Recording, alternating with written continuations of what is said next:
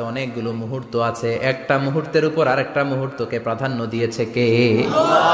বলেন তো পৃথিবীতে সবচাইতে তিনশো পঁয়ষট্টি দিনের মধ্যে শ্রেষ্ঠ দিন কোনটা? আরাফার দিন। কোন দিন? কথা বলেন। হজে যারা গিয়েছেন আরাফার দিন দেখেছেন না? ইজহার আর রেদা পরে আমরা লাব্বাইক আল্লাহুম্মা লাব্বাইক বলি। এটা সারা বছরের মধ্যে শ্রেষ্ঠ দিন। আল আরাফা আল হাজ্জ আরাফা। আরাফাটাই হজ। কেউ যদি আরাফার দিনে থাকতে পারে তার হজ হয়ে গেছে। আলহামদুলিল্লাহ কোন আলহামদুলিল্লাহ। আর হজে সব করেছে আরাফা করে নাই। হজ হবে? না। কথা বলেন হজ হবে? না। তার মানে বছরের শ্রেষ্ঠ দিন আরাফার দিন। এদিন আল্লাহ এত সংখ্যক বান্দাকে একসাথে ক্ষমার ঘোষণা দেন বছরের কোন দিন এত মানুষকে ক্ষমা করেন না। আবার শয়তান ওই দিনে এতটা লাঞ্ছিত বোধ করে এতটা অপমান বোধ করে বছরের কোন দিন শয়তান এত অপমানিত হয় না। এজন্য বিশ্বনবী বলেছেন খৈরুদ দোয়া দোয়া ও আরাফা। সব চাইতে শ্রেষ্ঠ দোয়া আরাফার দিনের দোয়া। বিশ্বনবী বলেন আরাফার দিনে একটা দোয়া আমি করি। আমার আগে সব নবীর ওই দোয়াটা করতেন। দোয়াটা হলো লা ইলাহা ইল্লাল্লাহ ওয়াহদাহু লা শারীকা লাহ লাহুল মুলকু ওয়া লাহুল হামদু ওয়া হুয়া আলা কুল্লি শাইইন কাদির। সুবহানাল্লাহ পড়েন। সুবহানাল্লাহ। মুখস্থ আছে না দোয়াটা? এটা পড়বেন। বিশ্বনবী আরাফার ময়দানে এই দোয়াটা পড়তেন। তাহলে বুঝা গেল বছরের সব দিন সমান না সব দিন সমান না বছরের সবচাইতে শ্রেষ্ঠ দিন হচ্ছে আরাফার দিন কোন দিন এবার বলেন বছরের সবচেয়ে শ্রেষ্ঠ শ্রেষ্ঠতম রাত কোনটা কদরের রাত ইন্না আনজালনা হুফি লাইলাতুল কদর إنا أنزلناه في ليلة القدر وما أدراك ما ليلة القدر লাইলাতুল কদরি খাইরুম মিন আলফি শাহর। হাজার মাসের চেয়ে সেরা। ওই রাতে আবাদত করলে হাজার মাস যাবত আবাদত করলে যেই সওয়াব ওই পরিমাণ সওয়াব আমল নামায় তুলে দিবে কে? শ্রেষ্ঠরা কদরের রাত। এবার বলেন বছরের সবচাইতে শ্রেষ্ঠতম মাস কোনটা? রমজান মাস। শাহরু বন আল্লাদি উংজিলা কোরআন যে মাসে কোরআন নাজিল হয়েছে, এই মাসের চেয়ে শ্রেষ্ঠ কোনো মাস থাকতে পারে? চিল্লায় বলেন, থাকতে পারে। তার মানে বছরের শ্রেষ্ঠ দিন আরাফার দিন। বছরের শ্রেষ্ঠ রাত কদরের রাত। বছরের শ্রেষ্ঠতম মাস রমজান মাস। এবার বলেন, সপ্তাহের মধ্যে শ্রেষ্ঠতম দিন কোনটা?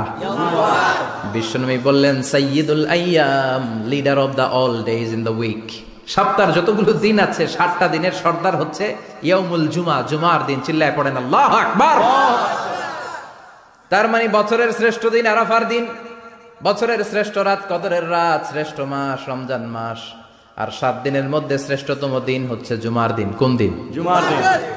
এই সুরাতুল জুমা নিয়ে আমরা কথা শুনব ইনশাল্লাহ বলেন। এটা সাধারণ দিন নয়। ফিহি খালাকাল্লাহু আদম। কালকের এই দিনটায় এই জুমার দিনে আল্লাহ তালা সাইয়েদনা আদম আলাইহিস সালামকে তৈরি করেছে। বিশ্বনবী বলেন লাম্মা খালাকাল্লাহু আদম ওয়া কানা তুলুহু সিত্তুনা যিরাআন। আল্লাহ তাআলা যখন আদম আলাইহিস সালামকে তৈরি করলেন 60 হাত লম্বা করে তৈরি করলেন। সুবহানাল্লাহ। আর আমরাও যারা জান্নাতে ঢুকবো আমাদের আকৃতি থাকবে 60 হাত লম্বা। মজা করে সুবহানাল্লাহ পড়তে পারলেন না? আল্লাহ সৈয়দনা আদমকে তৈরি করলেন এই জুমার দিনে। আবার সৈয়দনা আদম আলাইহাস আলাইহিস সালামকে পৃথিবীর বুকে তিনি পাঠিয়ে দিয়েছিলেন এই জুমার দিনে। O Adam go down with your wife. তোমার স্ত্রী হাওয়াকে নিয়ে পৃথিবীতে নামো। সৈয়দনা আদম আলাইহিস সালামকে আল্লাহ তাআলা পাঠিয়েছিলেন শ্রীলঙ্কার একটা পাহাড়ে অ্যাডাম স্পিক। ওখানে ঐতিহাসিকভাবে প্রমাণিত এটা হাদিসে নেই। কুতুবুত তারিখে এসেছে শ্রীলঙ্কা একটা পাহাড় আছে কলম্বো থেকে অনেক দূর ওই পাহাড়ের চূড়ায় সৈয়দনা আদম আলাইহিস সালামের ফুটপ্রিন্ট আছে। ফুটপ্রিন্ট মানে পায়ের ছাপ। পড়েন সুবহানাল্লাহ। এটারে বলে ফিঙ্গারপ্রিন্ট এটার কি বলে? পায়ের গুলারে? একজনের আঙ্গুলের ছাপের সাথে একজনের আঙ্গুলের ছাপের মিল নাই। শুধু তাই না আমার এ আঙ্গুলের সাথে এ আঙ্গুলের ছাপের কোনো মিল নাই। আয়াহসাবুল ইনসানু আল্লাহ নাজমা ইদামা বালা কাদিরিনা আলা আন নুসাউবিয়া বানানা আল্লাহ বলেন, গোলাম, তুমি মনে করেছ তোমার হাড্ডি গুড্ডি পচে যাবে? তোমাকে আমি একত্রিত করে আবার বানাতে পারব না? বানানো তো অনেক দূরের কথা। আমি তো তোমার আঙ্গুলের ছাপগুলো সংরক্ষণ করে রেখেছি, চিল্লায় পড়েন, আল্লাহ আকবার। আঠারোশো আশি সালে স্যার ফ্রান্সিস গালটন নামে একজন বিজ্ঞানী, তিনি আবিষ্কার করেছেন যে আমাদের আঙ্গুলের ছাপগুলো আলাদা, ফিঙ্গারপ্রিন্ট আলাদা। এই দশটা আঙ্গুলের একটার সাথে আরেকটার কোনো মিল নাই।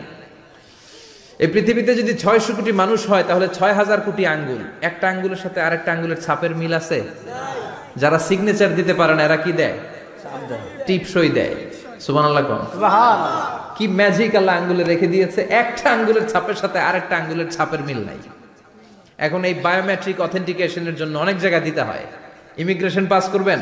গিভ ইউর ফিঙ্গারপ্রিন্ট ভিসা করবেন Schengen visa European visa provide your fingerprint first Canadian অ্যাম্বাসিতে গিয়েছিলাম। সব আঙ্গুলের আলাদা আলাদা ফিঙ্গারপ্রিন্ট রেখেছে।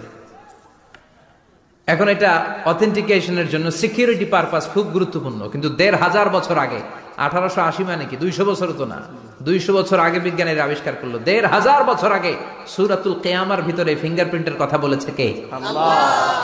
আর পায়ের টারে বলে ফুটপ্রিন্ট এটা প্রাণীদের ক্ষেত্রে প্রযোজ্য, কারণ প্রাণীদের আঙ্গুল নাই, আছে? ওদের আছে পা। বাঘের কয় পা? কথা কয় না? চার পা। আচ্ছা বাঘের হাত কয়টা? হাত নাই। ওদের পা, ফলে ওদের ফুটপ্রিন্ট লাগে। সুন্দরবনে কয়টা বাঘ আছে? এটার একটা হিসাব আছে। কি করে বলে? কেমন করে হিসাব করে? বাঘের কাছে যে গুনে চেহারা তো একরকম। একটারে তিনবার গণবে। কথা কন। কীভাবে গনে তাহলে? বাঘসুমারি হয় কীভাবে? ফুটপ্রিন্ট পায়ের ছাপ, একটা বাঘের পায়ের ছাপের সাথে আরেকটা বাঘের পায়ের ছাপের কোনো মিল নাই। আবার কাবা ঘরের পাশে একটা ছোট্ট জায়গা আছে এই জায়গার মধ্যে রব্বুল আলামিন সব নবীদের পিতা সৈয়দনা ইব্রাহিম আলাইহিস সালামের ফুটপ্রিন্ট রেখে দিয়েছেন। ওয়াত্তাখিযু মিম মাকামি ইব্রাহিম মুসাল্লা। সৈয়দনা ইব্রাহিমের দাঁড়ানোর জায়গায় তোমরা নামাজের জায়গা করে না আল্লাহু আকবার! সৈয়দনা ইব্রাহিম আলাইহিস সালামের পায়ের ছাপ আছে কিন্তু মাকাম ইব্রাহিম। আর সৈয়দনা আদম আলাইহিস সালামের পায়ের ছাপ আছে অ্যাডাম স্পিকে শ্রীলঙ্কার ওই পাহাড়ে। তো যেদিন আদম আলাইহিস সালামকে আল্লাহ ওখানে পাঠাই দিয়েছিলেন ওই দিনটা ছিল জুমার দিন। সুবহানাল্লাহ নাই? সুবহানাল্লাহ। বাড়িতে যায় বললেন চিল্লায় পড়েন আল্লাহ আকবার! এরপরে সৈয়দনা আদমকে পাঠানো হলো শ্রীলঙ্কায়। সৈয়দাতুনা হাওয়া পাঠিয়ে দেয়া হলো সৌদি আরবের জেদ্দা শহরে। আরবিতে জেদ্দা বা জাদ্দা মানে দাদি। হাওয়া আমাদের সবার দাদি ঠিক কিনা? উনার নামে এই শহরের নাম। বছরের পর বছর সৈয়দনা আদম আলাইহিসাল্লাম এবং হাওয়া আলাইহাসাল্লাম আল্লাহর কাছে ক্ষমা চাইলেন আল্লাহ ভুল করে নিষিদ্ধ গাছের ফল খেয়েছি তুমি মাফ করে দাও। আল্লাহ বললেন আদম কয়েকটা কালিমা শিখিয়ে দেব এই কালিমাগুলো পড়ে আমার কাছে দোয়া করো আমি কবুল করে নিব। আল্লাহ আকবার। আল্লাহ শিখিয়ে দিলেন আর বললেন আদম পড়া রাব্বানা ظلمنا أنفسنا وإن لم تغفر لنا وترحمنا لنكونن من الخاسرين ও আল্লাহ জুলুম করেছি নাফসের উপর ভুল করেছি অন্যায় করেছি আপনি যদি ক্ষমা না করে দেন আমরা শেষ হয়ে যাব আমরা হালাক হয়ে যাব ক্ষতিগ্রস্তদের মধ্যে সামিল হয়ে যাব ঠিক কিনা আল্লাহ সাইদিন আদম আলাইসাল্লামের তওবা কবুল করলেন উনার কাজ হচ্ছে তওবা কবুল করা। আমাদের কাজ গুনাহ করা শয়তানের কাজ ওয়াসওয়াসা দেওয়া আল্লাহর কাজ খালি মাফ করা। আল্লাহ সুবহানাল্লাহ পড়বেন না? তাকাব্বালাল্লাহু তাওবাতা আদম ফি ইয়াউমিল জুমআহ আল্লাহ যেদিন আদম আলাইহিস সালাম তাওবা যে কবুল করছেন ঘোষণা দিয়েছেন এই ঘোষণাটা ছিল জুমার দিনের ঘোষণা। আবার সৈয়দনা আদমকে যেদিন রুহ কবজ করে আবার নিয়ে যাওয়া হয় ওই দিনটাও ছিল জুমার দিন পড়েন সুবহানাল্লাহ। পৃথিবীতে একজন মানুষই শুধু জানতেন যে তিনি পৃথিবীতে কতদিন বাঁচবেন। সেটা হচ্ছে সৈয়দনা আদম আলাইহিস সালাম। ওনাকে বলে দেয়া হয়েছিল আমরুকা আলফুসানা তুমি পৃথিবীতে বাঁচবে হাজার বছর। কয় বছর? সৈয়দনা আদমের সামনে অনেকগুলো রুহু রাখা হলো। সৈয়দনা আদম বললেন, এরা কারা? আল্লাহ বললেন, এরা হচ্ছে না সালুক তোমার বংশধর। পৃথিবীতে তোমার পর এরা পৃথিবীতে আসবে। সৈয়দনা আদম বললেন, আল্লাহ, ওই যে একটা রুহু দেখা যায়, এটার নাম কি? আল্লাহ বললেন, হাদা ইবনুকা দাউদ। এটা তোমার ছেলে দাউদ। সে দুনিয়াতে নবী হয়ে আসবে, তার ছেলে সোলাইমানও নবী হয়ে আসবে। সৈয়দনা আদম বললেন, মাবুদ, আমার ছেলে দাউদের কত বছর হায়াত আপনি দিয়েছেন? আল্লাহ বললেন আর সানা, মাত্র চল্লিশ বছর ফোর ইয়ার্স চল্লিশ বছর তোমার ছেলেটা বাঁচবে। ও আল্লাহ, আমি বাঁচবো কয় বছর? তুমি বাঁচবা এক হাজার বছর? সুহান আল্লাহ সৈয়দনা আদম বললেন মাবুদ এত ফুটফুটে সুন্দর আমার ছেলে দাউদ মাত্র চল্লিশ বছর দিলেন কেন? জিদ মিন আমরিহি বাড়ায়া দেন। কি করেন? সুপারিশ করতেছে পোলার লাইগা কে? বাবা। আল্লাহ আপনি বাড়ায় দেন আল্লাহকে বাড়ানো যাবে না। লেখা হয়ে গেছে। রুফি আতিল আকলাম জাফাতি সুহুফ। কলম তুলে নেওয়া হয়েছে আর কালি শুকায় গেছে আর কিছু করা যাবে? সৈয়দনা আদম বললেন মাবুদ আমার এক হাজার বছর কেন দিলেন? আমার এই সুন্দর ফুটফুটে ছেলেটারে মাত্র শুধুমাত্র চল্লিশ বছর কেন দিলেন? ও মাবুদ, আমার এক হাজার বছরের দরকার নাই। আমার এক হাজার বছর থেকে ষাট বছর আমি আমার ছেলেরে দিয়ে দিলাম। দাউদ আলাইসাল্লাম বাঁচবে চল্লিশ বছর। তো বাপ, আদম যদি আরও ষাট দেয়, চাই চল্লিশ আর ষাট মিলে কত হয়? ভালো হিসাব বুঝে। একশো। আর আদম আলাইসাল্লাম পেয়েছিলেন হাজার বছর। ষাট কমে গেলে রইল কত? নয়শো চল্লিশ। বছর পৃথিবীতে থাকার পরে মালাকুল মাউত চলে এসেছে। কারণ এটা on time the dash will come on time it never late কখনো দেরি হয় না। আল্লাহ বললেন, লিকুল্লি উম্মাতিন আজালুম ফাইদা জাআ আজালুহুম লা ইয়াস্তাখিরুনা সাআতাও ওয়ালা ইয়াস্তাকদিমুন। মৃত্যুর একটা নির্ধারিত সময় আমি বেঁধে দিয়েছি অন টাইম অন টাইমেই চলে আসে, এক সেকেন্ড আগেও আসবে না, এক সেকেন্ড পরেও আসবে না। নয়শো চল্লিশ বছর বয়সে মালাকুল মাউত এসে হাজির। এসে বলল, জি ইতুয়ান আকবাদা রুহ হাক রুহু কবজ করতে আসছি। আদম আলাইহিস সাল্লাম বললেন, রুহু কবজ করতে আসছো মানে? আমি বাসমতো এক হাজার বছর। কয় বছর? মালাকুল মাউত বললেন, না না, ওই যে আগের কথা স্মরণ করেন, আপনি ষাট বছর দিয়া দিছিলেন। কয়, না, আমি দেই নাই। আমি আরও বাসুম। আরও ষাট বছর পাওনা আছি। আমি দেই নাই। মালাকুল মাউদ বললেন, আপনি দিয়েছেন, আদম বলে দেই নাই। মালাকুল মাউদ বলে, আল্লাহ ঘটনা দেখেন, দিয়া কয় দেই নাই। আল্লাহ কয়, থাক, কথা কইস না, আয়া পর আল্লাহ সুবহানাল্লাহ পড়েন। নাসিয়া আদম, ফানাসিয়া বানু। ভুলে গেছেন উনি। আমরা ভুলে যাই, আমরা খেয়ে বলছি, খাই নাই। নিছিলাম পকেটে কয়, নেই নাই। এরকম ডাকাইত আছে না নাই? নাসিয়া আদম ফানাসিয়া বানু বিশ্বনবী বললেন আদম ভুলেছে তো তার সন্তানরাও ভুলে যায়। জাহাদা আদম ফা জাহাদা যুররিয়াতু। আদম অস্বীকার করেছে তার সন্তানরাও অস্বীকার করে। সেদিন থেকে আল কিতাব ওয়া শুহুদ মানে লিখে রাখার সিস্টেম আর সাক্ষীর সিস্টেম চালু হয়েছে। সুবহানাল্লাহ পড়েন। সুবহানাল্লাহ। নয়শত চল্লিশ বছর বয়সে মালাকুল মাউত এসে আদম আলাইসাল্লামের রুহু নিতে পারে নাই। উনি এক হাজার বছর যখন হয়েছে তখন এসে সৈয়দনা আদম আলাইসাল্লামের রুহু কবজ করেছে। যেই দিন পৃথিবীর প্রথম মানব প্রথম নবীর রুহু মালাকুল মাউত দুনিয়া এসে কবজ করেছে ওই দিনটাও ছিল জুমাবার আল্লাহু আবার বিষ্ণু বললেন লা তাকুমুস সাআহ ইল্লা ফি ইয়াউমিল জুমআহ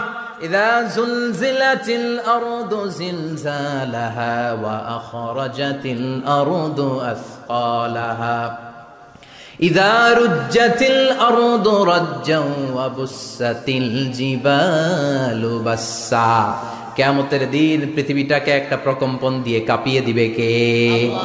মারাত্মক একটা ঝাঁকুনি দিবে আল্লাহ পুরো পৃথিবীটা। কেঁপে ভেঙে চুরে খান খান হয়ে যাবে। এই ঝাঁকুনি আর আর্থ কয়েক ভূমিকম্প এর ঘটনাটা যেদিন ঘটবে ওই দিনটাও হচ্ছে জুমার দিন। চিৎকার করে পড়েন সুমান আল্লাহ তার মানে আদম সৃষ্টি হলো জুমার দিনে দুনিয়ায় নামিয়ে দেয়া হলো জুমার দিনে তওবা কবুল করে কবুল করে নেওয়া হলো জুমার দিনে। রুহু কবজ করা হলো জুমার দিনে আবার কেয়ামত সংগঠিত হবে জুমার দিনে পড়েন সুবাহান আল্লাহ আবার বিশ্বনবী বললেন আর রমাদান ইলা রমাদান। এক রমজান থেকে আর এক রমজানের মাঝখানে যত গুনাহ হয় মাফ করে কে? তারপরে বললেন আল তো ইলাল উমরা। কেউ যদি একবার উমরা করে পরে আবার করলে দুই উমরার মাঝখানে গুনাহগুলো মাফ করে দেয় কে?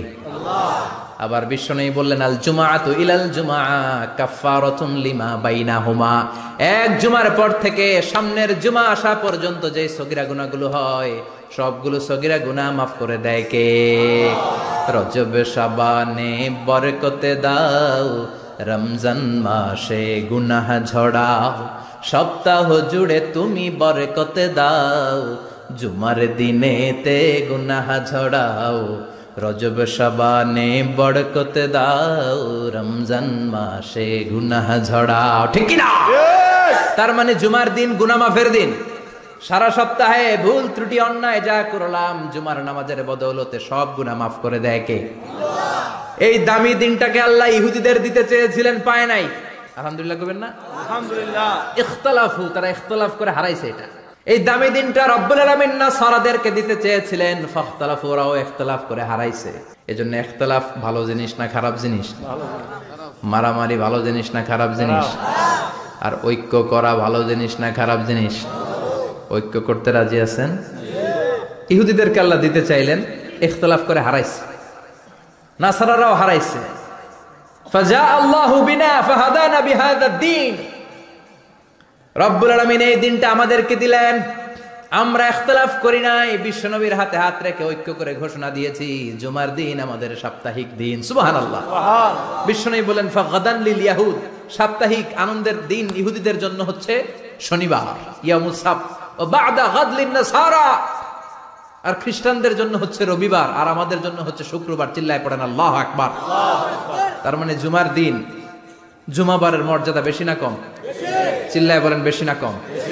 জুমার দিন সকালবেলা, ফজরের নামাজের পর থেকে ফেরেস তারা যতগুলো মসজিদে জুমা অনুষ্ঠিত হয়, ওই মসজিদে ঢুকার প্রতিটা দরজার মধ্যে দাঁড়িয়ে থাকে। কারা কারা আগে আগে জুমার নামাজ পড়ার জন্য মসজিদে যায় প্রত্যেকের নামগুলো একটা জান্নাতের রেজিস্ট্রি খাতার মধ্যে তুলে নেয়। এই নামগুলো স্পেশালি আল্লাহর কাছে পাঠানোর জন্য। সুবহানাল্লাহ কবির না? আল্লাহ